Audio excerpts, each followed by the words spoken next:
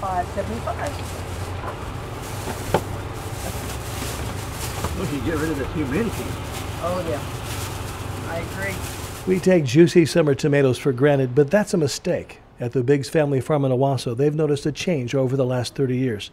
Things are different with their harvest these days. Our garden don't do as good. I mean, you don't. Have, they're not productive because you don't have the bees to pollinate.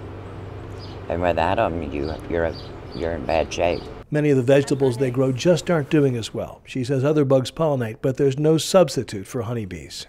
They work hard, and there are so many of them in a hive. Just around the corner at the RJS bee farm, the owner is working on the problem. It's not simple, but pesticides are a part of it, and he doesn't think the EPA has been very aggressive.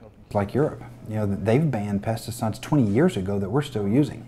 You know, so why is it that their organizations look at it and go, "This is bad, and we're going to ban this"?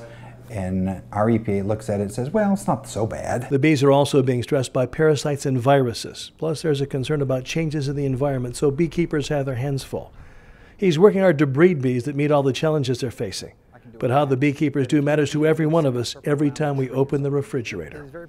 You can absolutely see a drastic reduction in the availability of foods that we think are so common and so easy that we just go get all the time. They just won't be there anymore. I just do. Um, yeah. like any wild animal.